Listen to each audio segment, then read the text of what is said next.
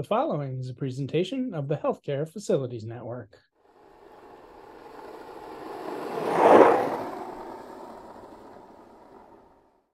Hello and welcome to the Healthcare Facilities Network. Thank you for clicking on this video. As always, happy you've done so. I'd like to uh, introduce my guest today, who may be a familiar face to many of you because he has been in healthcare facilities for quite some time. My guest is Dennis Smith. Dennis, welcome to the Healthcare Facilities Network. Thank you. I appreciate it. So, as you may know, Dennis has written a book, which is what we are going to talk about. It's a leadership book, which we will talk about um, in this particular episode. And Dennis is well equipped to write about leadership. He's been a leader in his own company in construction. He has been a leader in the military. He has been a leader for healthcare systems. He's now a leader for his own consulting company as he continues his career in healthcare facilities management. So, well situated to talk about leadership. Dennis, before we talk about leadership, can you give um, our viewers who may not know? I mean, you're a familiar face at the ASHE conferences, you've worked across the mm-hmm. country. But for our listeners who may not be familiar with a little bit of your career, could you give a little bit of your career background and kind of all those experiences that have led you to write your book that you have recently published? And it is called The Velvet Glove of Le- The Velvet Glove of Leadership in the 2020s. Leadership Principles That Don't Change in a Changing World. Great title. What uh, tell us though a little bit before we get to that. Tell us a little bit about your leadership background if you don't mind. Well, you talked about my construction company, and I, I think I'll start there. Um, I I had a partner, and we started from a two man operation, grew it to 85 employees, and uh, at the time back in the early 2000s, we were doing about 18 million a year. So it's not a small company. Uh, worked in four states. Um, what type of Dennis? What type of construction was it? Well, uh, commercial and institutional. I built a lot of schools. Uh, we lived in the area of the state where there are a fair amount of small hospitals, so I did a fair amount of work, uh, renovations, and and the reason the way I got hooked up with uh, healthcare, uh, we we were a minor partner with Mortenson on a forty four million dollar tower in our hometown and we provided. You're in you're in Kansas, correct? That's correct. And uh, we provided uh, some supervision, leadership, office staffing, and labor as need be on the project. And I I really got to know the chief operating officer of the hospital quite well. And uh, uh, my partner and I, after 30 years, you know, and this just happens, we philosophically went different ways. Hmm and uh, you know I hated to leave. I'm I'm like a seven generation builder. Uh, wow. I've got a, a copy of a guild card from one of my six great grandfather Smiths in in England. Wow. But you know, I mean, there's a time for everything. So yeah. I left that company and went to work for the local hospital as a facility manager.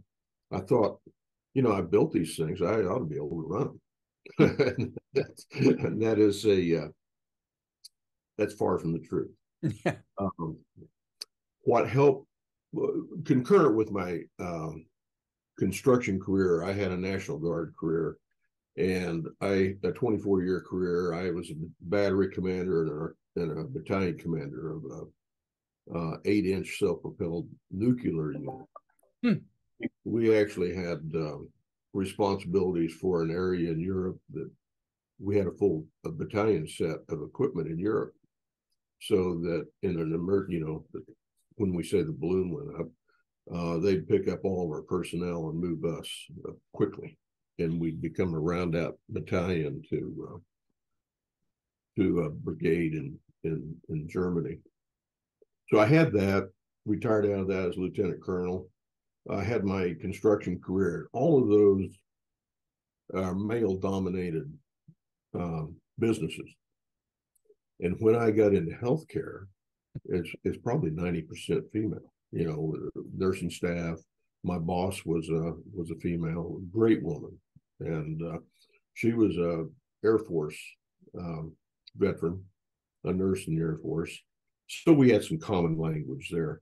But what I learned, uh, I knew a lot of the physical attributes of this whole hospital operations, but the uh, there's a lot of stuff that goes on those places that uh, I didn't know, uh, and and part of it, probably the big part it was coming from a male dominated world.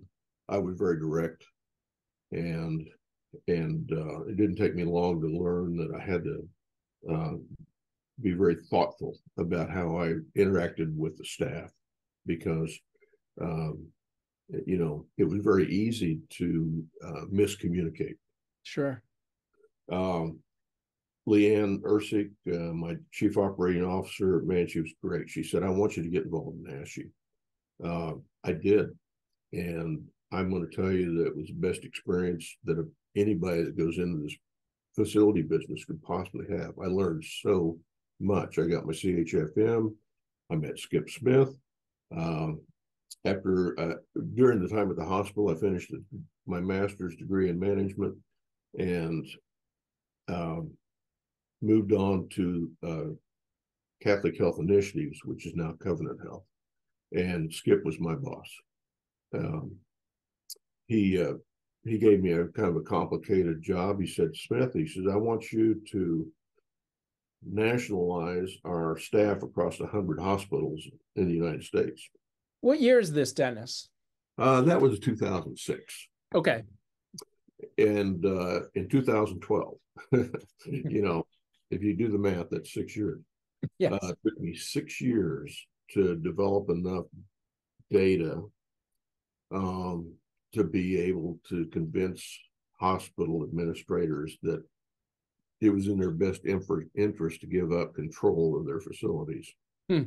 And but you know, once once we begin to centralize a lot of things, the energy piece of it, uh, you know, the first full year that we we were able to do that, we we dropped about eighteen million dollars out of our um, operations budget, hmm. which you know for a for a 17 or 18 billion dollar company is kind of budget dust but uh, i felt pretty good about it. Right right. And, you got a uh, lot for 18 mil. Yeah well you know you can. And so that uh, that time i spent with skip was very informative I, skanda came to work for us during that time skanda skanda Reville, the current president of ASHE just had a conversation with Skanda. So yes, yep. Had a terrific team. I, I mean, a terrific team, and I I felt so blessed to be able to uh, to even be in the same room with those guys. Yeah, there's a lot of great, a lot of great talent that came out of Catholic Health Initiatives before you know before the the merge and and the reorgs and everything. Yeah, the the whole nationalization and and uh, consolidating the uh, operations of the facilities, uh, I I I don't know if it's um, common across the, the country. I don't think so. Uh, worked a little bit with Brian Weldy and HCA. You know, we would meet and do some common talk about common issues, and uh, they were real good on the manage on the energy side, but they didn't really have the the management staff that belonged to them. So I don't know how much of that is really done across the country right now, to tell you the truth. Yeah, I agree. I mean, I didn't I've been out, you know, I've been on the consulting side for 10 years now, but you know, the organization I was working for, we tried to do I think a lot of organizations they come together with okay we're going to standardize right we're going to we're going to create these efficiencies and it's easy to say but as you know because you've done it I mean, it was easy for us to say that, but then you're dealing with with hospitals in different parts of the country, which means they're different, dealing with different, even something like different climates, the difference between snow and rain, and and outsourcing that. So I think it's easy to say, but then uh, there's all those intricate details and the, you know, the paint store on the corner where I've gone to. For so many years, and he can put me on credit. So it's very easy to say, but in actuality, how many are doing it? You're probably right. Yeah, and doing it, it well, right? Doing it well. That's the key. It's a tough deal. Yeah. And, um, you know, we created a system with regional managers, and then uh, they would take a portion of the, an area of the country uh, because you're right. In the Northwest, in Oregon and Washington, our staff were unionized. Mm. So that changes everything. Yeah. Um, So we had an area manager over there, and we had area managers or division managers, depending on what where they were, and uh, and then we were we had at the time we had a facility one and facility two designation, and a facility. Um, if I remember right, the facility one was uh, more of an entry level, and a facility two is might have responsibility for a couple of hospitals, you know. But we were able to thin out our overhead when we did that whole thing, and it was uh, it was a, a significant deal. Yeah, yeah. So let's. Uh, so I imagine you have taken the experiences that you have just articulated. Some of that you've rolled into your. Into your book, The Velvet Glove. Glove. Why do I keep saying glove? Velvet glove. if I had it to do over again, I might change the title. I don't know. oh, really? Well, it is a little. It's a mouthful. yes. Yeah. I like, it. I like it. So tell us, Dennis, what's the book about? Well, um, I I was talking to actually Skanda, and we were I, I can't remember what the topic was, and and he made a comment about um, it was challenging for um, the new hires, the Gen Zs, to bring in and, and integrate them. And I, I thought, well, that's an interesting comment. And then as time went on, I, I take the read the Wall, Wall Street Journal every day, and uh, start seeing articles about how current graduates didn't know how to uh, work in an office, um, the type of issues that they were dealing with. Last night, I heard that uh, on, a, on one news station that um, Gen Z, when they some of them when they go for an interview, they take their parents. You're kidding me. No. this is hearsay. You know, I saw it on. wow. But, uh, I, I would tend to believe it. Now, yeah, I, yeah. Unfortunately, I, you're. I have to be very, very careful, and I I don't want to class a whole generation as everybody does this, and mm-hmm. so I don't want that to come across. But um, here's what happened. Um, in 2007, January the 9th of 2007, okay. the first the first iPhone was uh, set up for sale. So seven, so 17 years, 17 years ago. 17 years ago. And if you, you know, for all of us, I was surprised because I thought, well, gee, it must have been back way in the 90s when the, yeah. you know, I did have a cell phone in the 90s, but it was a flip phone. It was an Android. Uh, I would love to go back to the flip phone, to be quite honest with you. You got there, right. Yeah uh, I find myself, you know, surfing that phone more than I really want to. But my grandson was born in 2007. He has never lived without an iPhone. Yeah. And I, I watched the kids he was around. I think he's done pretty good managing that deal. But I would see him with, you know, walking down the street with other kids and they'd have a phone in their hand. They wouldn't even stick it in their pocket. They had to have it instantly so they could do that instant thing. So that that changes a lot. And then uh, in 2019, 2020, uh, depending on what part of the country you were in, when COVID hit, it wiped out uh, after school groups, it wiped out church groups, it wiped out Boy Scouts, it wiped out in school education, all of those things. Well, and, and after school work. Yeah. Um, I live in a very little town, and the grocery store here continued to hire and, and use kids during that time. But I'm going to tell you, there's probably places across across the country that after school work was gone.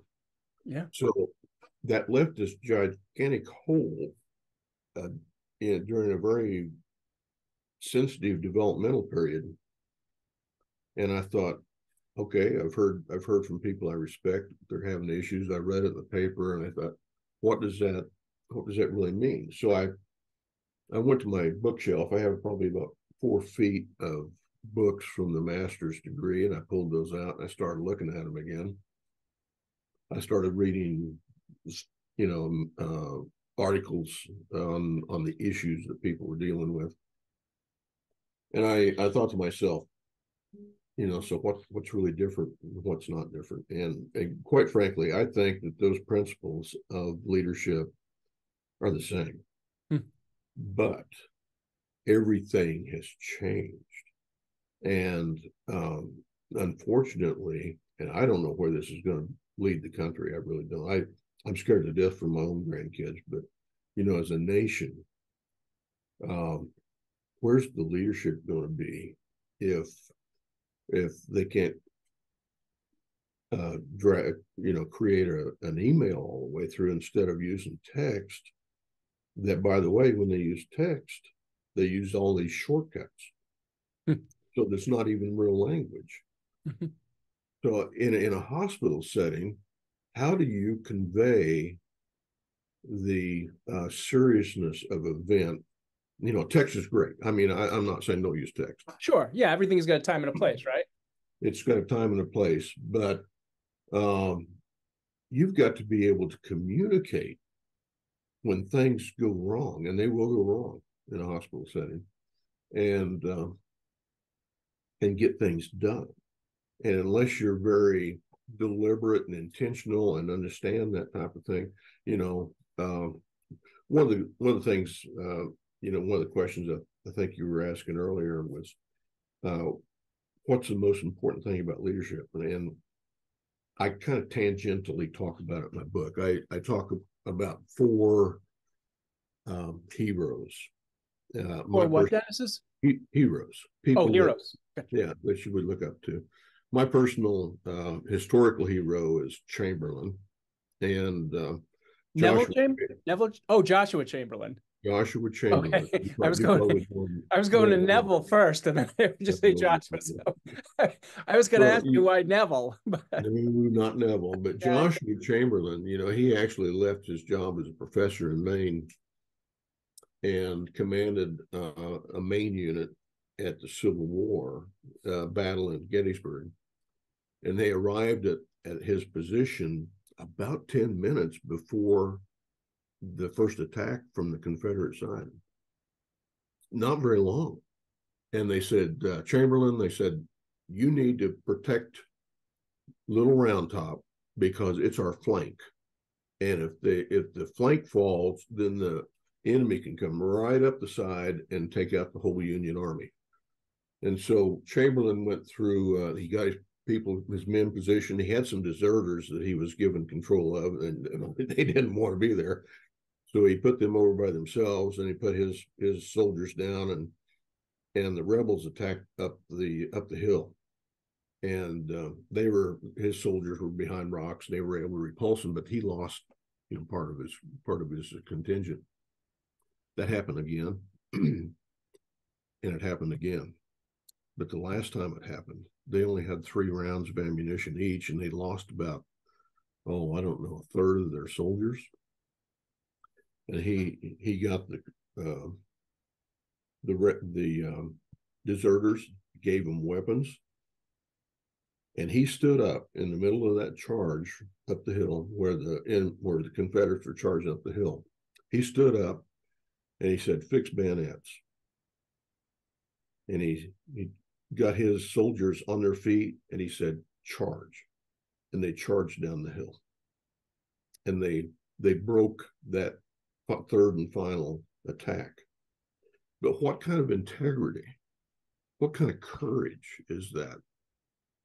And if a person doesn't have that hero, hmm.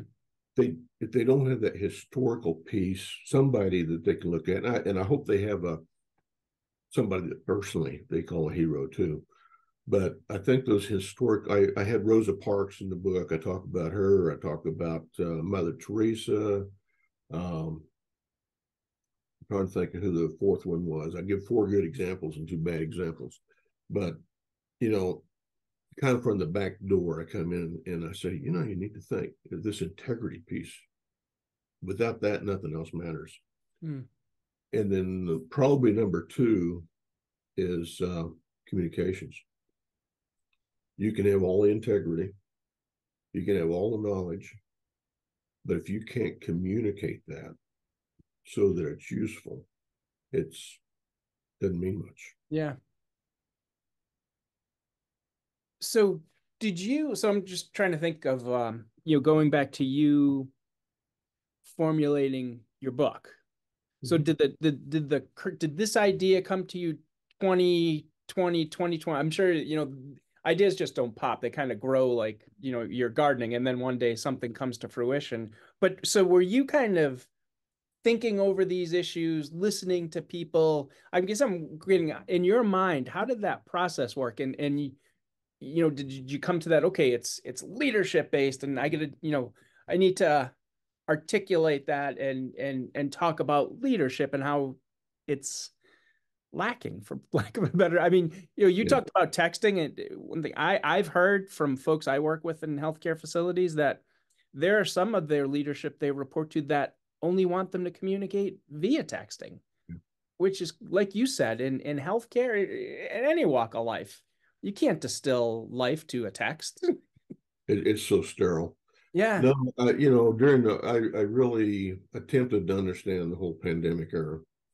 And, um, you know, I just, like I say, I started hearing things and seeing things in probably 2019, 2020.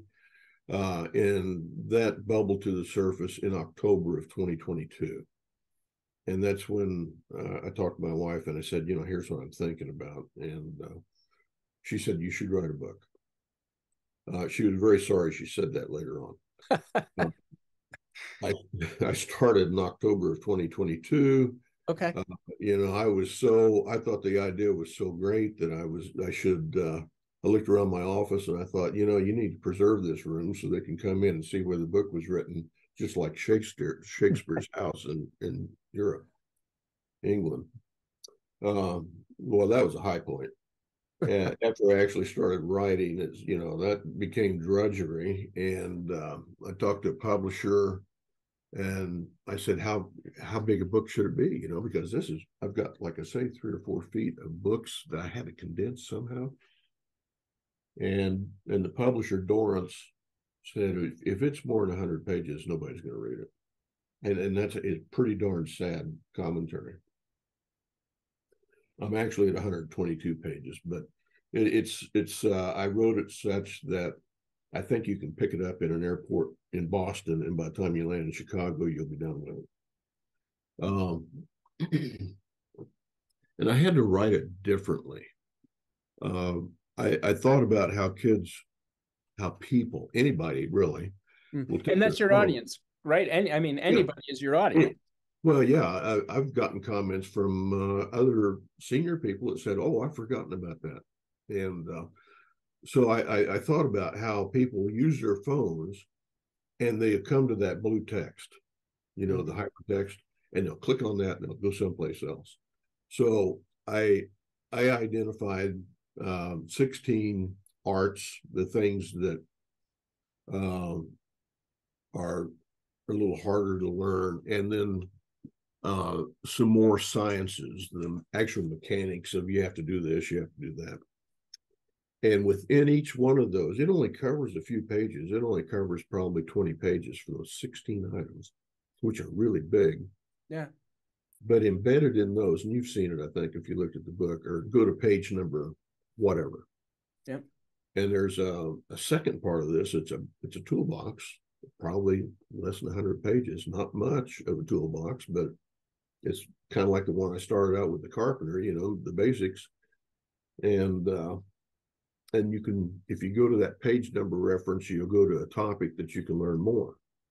And but even even beyond that, I uh, created a YouTube channel and I put a QR code in the book so that if you want to even learn more, that you can do that. But some of these topics are huge.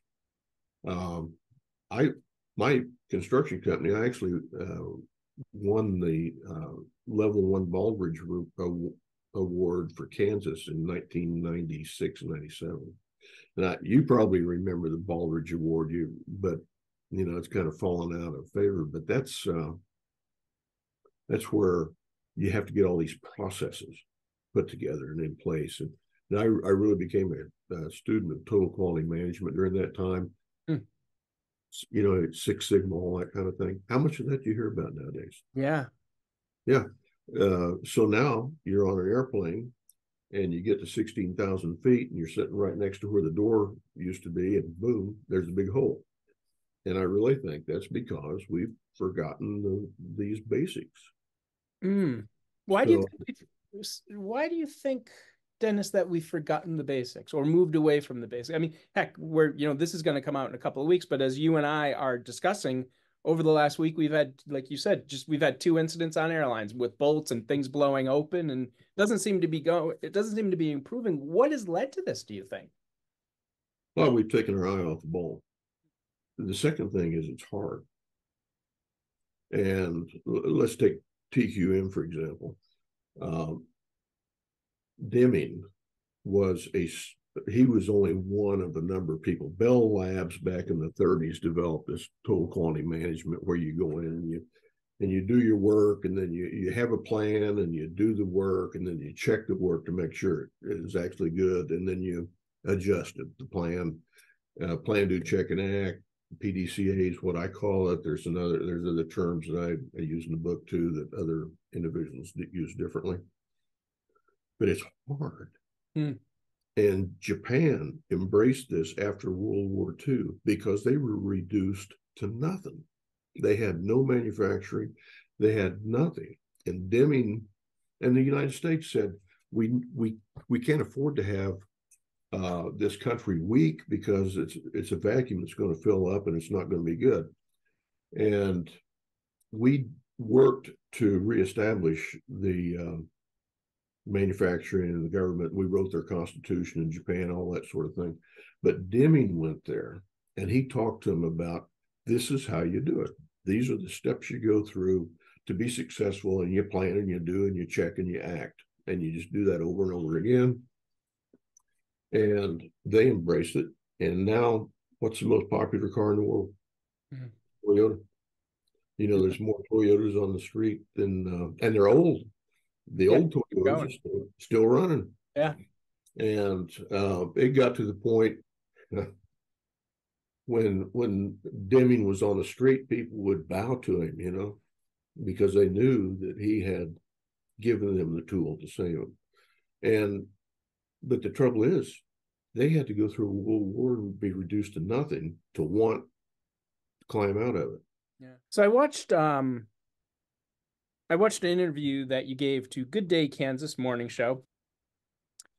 But you said, you know, during your discussions when you were talking about writing the book, your discussion with current leaders, they would comment to you that employees are technically competent, but the interpersonal skills are missing. So I guess you can you expound on that a little bit? What interper and we've talked in general around it, but what interpersonal skills do you feel are missing, and how does your book assist in trying to compensate for that, or or to you know train for those missing skills?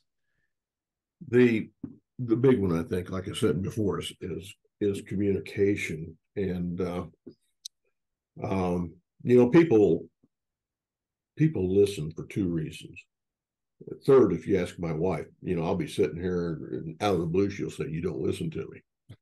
so, that, so that's number three. but uh, the other two, and and I don't specifically say this in the book, but it kind of works around this whole thing. People people listen for two reasons. They listen to respond, and all the time they're listening, they're formulating in their mind, "Oh, oh, this is how I'm going to argue with this person, or this is what I'm going to say to them," and they they listen to understand, and that they're two different things. Because when you listen to understand, you ask questions. Well, why do you think that way?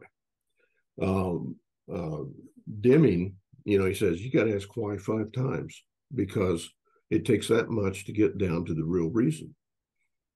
So um, you and, and, I talk about that. I talk about active listening, and if if people will work on that, I mean, I can describe it to them. I can I can give them more information about everything else. They have to choose to to do this.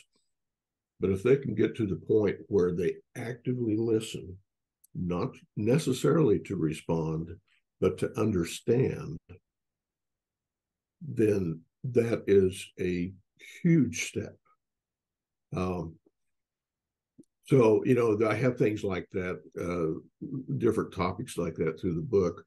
Uh, there's no way to make somebody expert in 120 pages. That isn't going to happen. But yeah, uh, Aristotle said, if you know yourself, that's the beginning of knowledge. And I'm not Aristotle, but I had a friend that I, but you know, I, I thought I was there for a little while right at the beginning of the book, but um, you know that office I was going to preserve for tours in the future. Yes, uh, I need to get a ten yard dumpster here and, and uh, start cleaning it out. It's got so much paper and empty uh, ink cartridges in it. This concludes episode one. Please return to the Healthcare Facilities Network in the near future to view episode two. And as always, thank you for watching.